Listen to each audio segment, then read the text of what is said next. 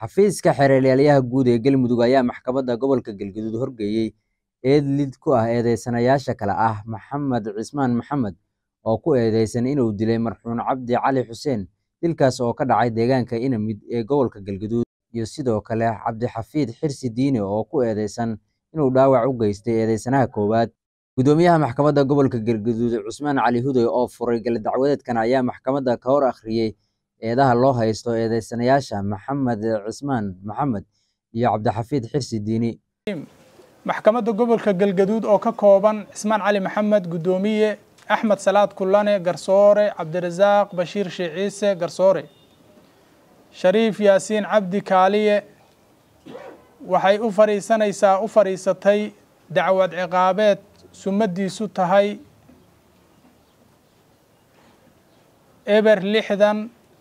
laba kun labaatan iyo saddex. Waxaana ka soo qeyb galay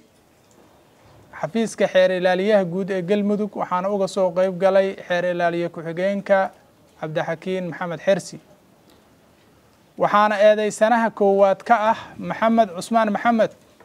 oo uu qareen u yahay qareen ismaaciil xalani. Waxaa eedeysanaha labaad ka ah dable bool toddoba kun saddex boqol iyo soddon cabdixafiid xersi diini. Oo uu qariin u yahay maxamed maxamed cawil. Qareen maxamed cawil. Ehelada darafyada iyo dadweynaha fadhiguna waa fadhi furan. Waxaa ka mamnuuca in wax carqaladayn kara dhegeysiga iyo habsamo.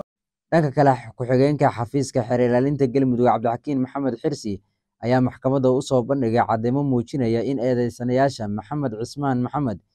in uu dilay ekes marxuun cabdi cali xuseen iyadoona sidoo kale xafiiska xeer ilaalinta ay maxkamadda uu la wadaagay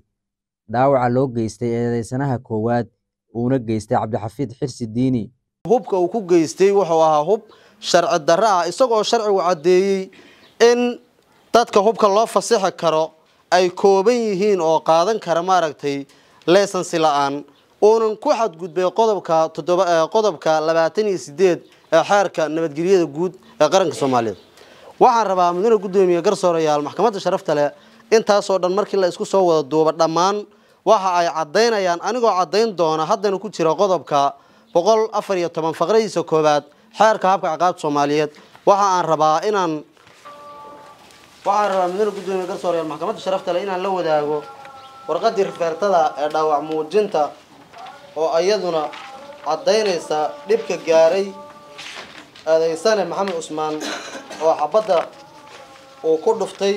cabdixafiid oo horteenna fadhiya. Ayadana waatana dhaawac muujintii dhibka gaaray halkaasuu ku codyahay dhakhtar baa soo caddeeyay professionaala oo yaqaano shaqadaas.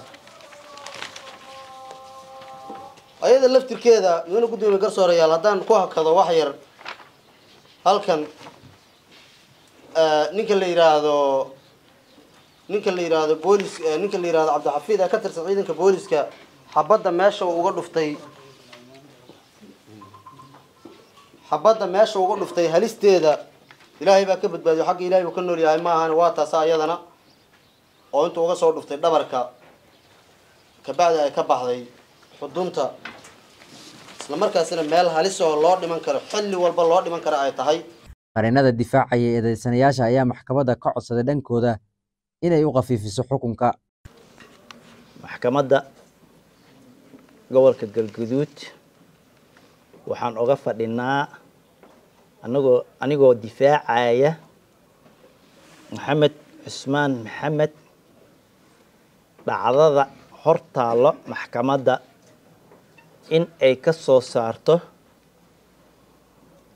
xukun cadaalad ah mudane guddoomiye garsoorayaal maxkamadda sharafta badan mar haddii muwakilkaygu aanu samayn wax ka baxsan sharciga islamarkaana oo ajiibay dhammaan tallaabooyinkii loogu talagalay oo ku imaaday sharciga markii loo yeerana u imaaday